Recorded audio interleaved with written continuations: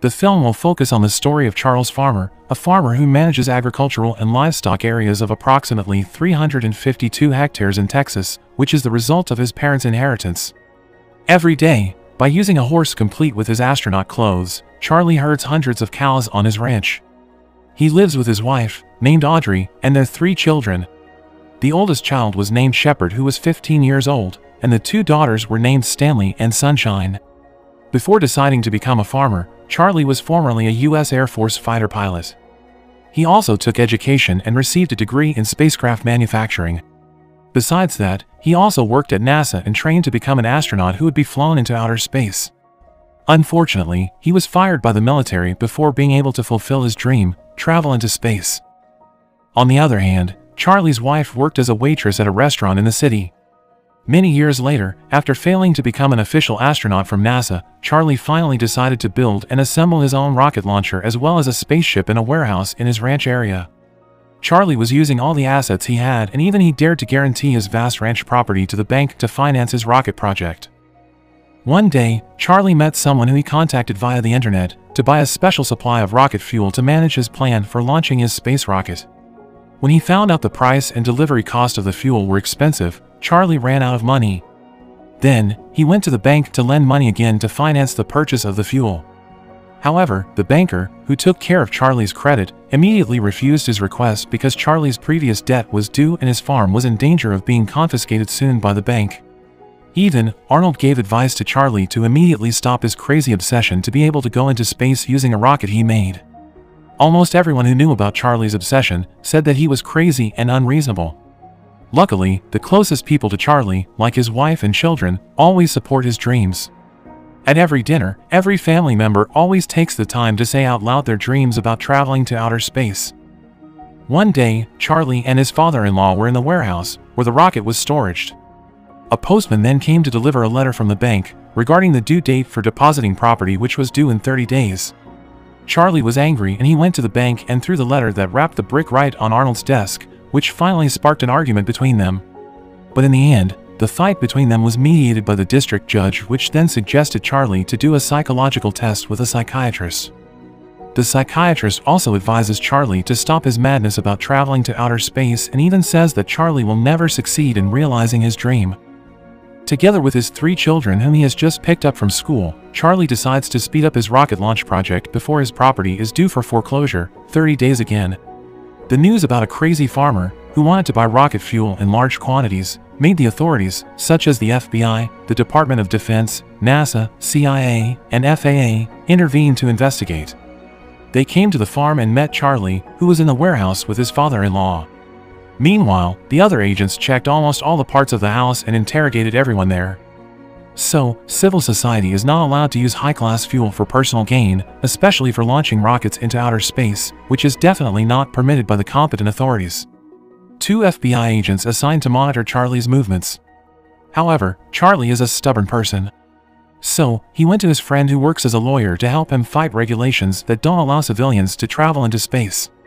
All the news about Charlie's project was then heard by the media throughout America. They then came to Charlie's farm to get more valid news from him. Charlie suddenly became famous because his coverage spread throughout the world. The people in the town, who initially laughed at Charlie's dream, now turned around to worship and support him so that the rocket he made could immediately launch and it became the pride of the small town. Even though the public and society supported him, Charlie still had to get official permission from the government to be able to fly the rocket he made people from various areas were curious and finally came to see directly the rocket that Charlie made for years. But still, there will always be negative news when someone becomes the center of attention. Charlie and the family are accused of being an antisocial family. Even worse, they're considered a group of perverts from outer space. Inevitably, Charlie and families have to prove that they are a normal family like the others by going to a carnival and socializing there. One day, Charlie is visited by a Navy officer named Colonel Doug Masterson, or better known as Eddie, who is also an astronaut. The colonel came to support Charlie's plan and to tell about his experience when flying the shuttle. The colonel then chuckled and all when Charlie invited him to see the rocket he was making as well as the control room. Even though he supported Charlie, Eddie still can't be sure that Charlie's plan will get permission from the FAA. Eddie offers Charlie to leave all his dreams, he promises that Charlie will get a flight with him and go to outer space the right way. NASA, FAA, and the American government actually did not just ban it for reasons of safety, but also so that this trillion-dollar space business would not be defeated by Charlie, who managed to make rockets with a budget of less than $10 million.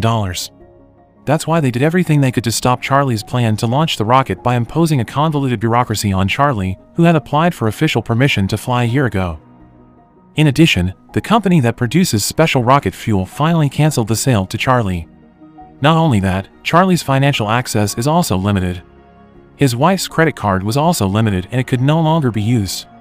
When Audrey went to the bank, she just knew that the house they were currently living in and all of their agricultural property assets were in the process of being confiscated. In front of their children at dinner, Audrey fights with Charlie. What you want to do? Go ahead. You want to see flying saucers? You have to keep us safe! A few days later, Charlie, who was starting to run out of money, finally used the fame he had to get money from several sponsors to launch the rocket. But when everything started to return to normal, his father-in-law died peacefully. Charlie, who was running out of time, finally found a way to make his own fuel by mixing kerosene with hydrazine.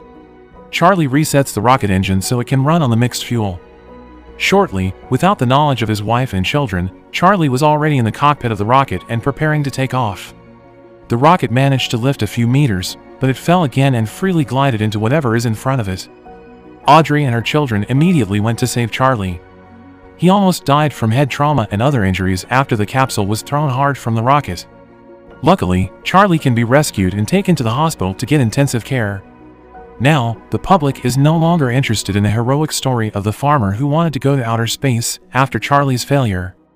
But even so, the two FBI agents still have to stay in the city to watch over Charlie and his family.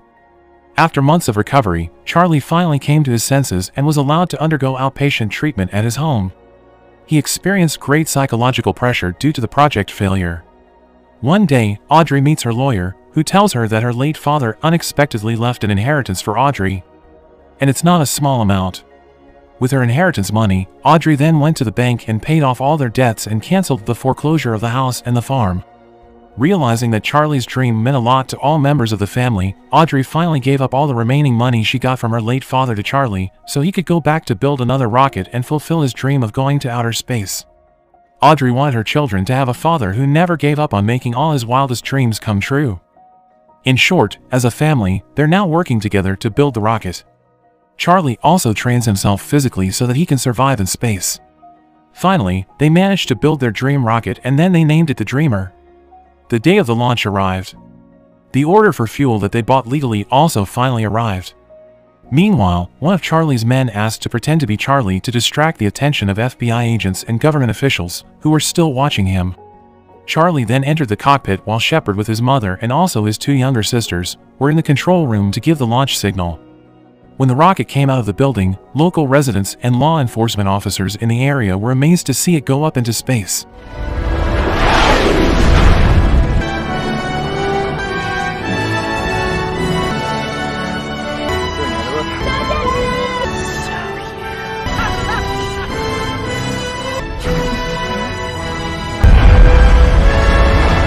Charlie managed to launch the Dreamer rocket and silence all people who previously underestimated his dreams. While in the vacuum, the booster rocket was released. Charlie plans to orbit the Earth nine times. While elsewhere, the FAA held a press conference and denied that the rocket launch was associated with Charlie's rocket. Even though Charlie had experienced communication problems for a while, he finally managed to fix it and reconnected with the control room commanded by Shepard.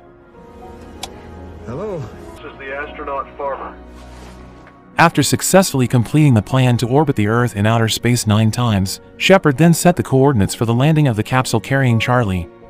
And finally, Charlie was safely back on Earth.